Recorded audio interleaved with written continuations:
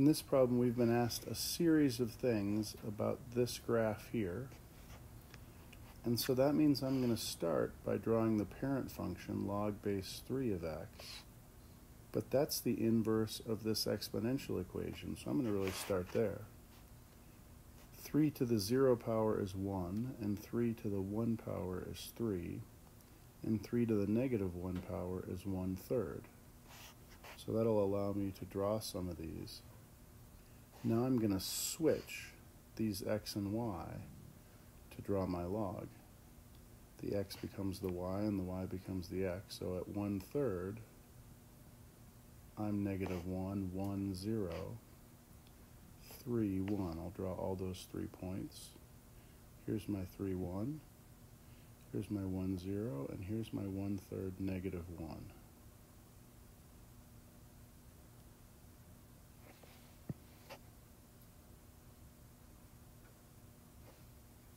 And now I'm going to do all the transformations.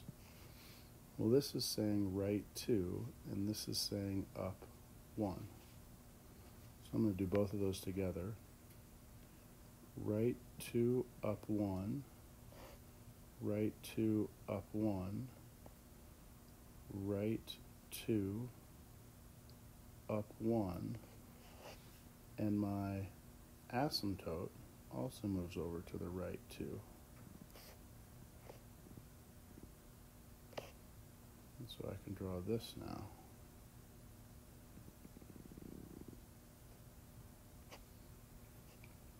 Where this is the point 3 comma 1 and this x-intercept was important. It used to be the point 1 third comma negative 1 but when I move this right 2 I'm adding 2 to 1 third so this x-intercept is now 2 and 1 third, comma 0.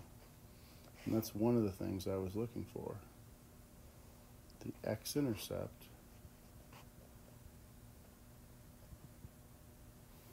is 2 and a third, comma 0.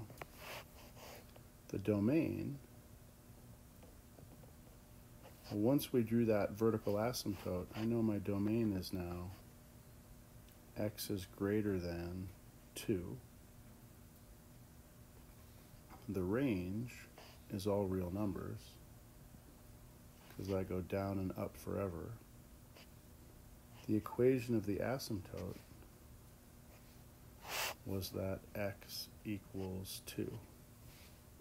That was the equation of my asymptote. Got the domain, I've got the x-intercept.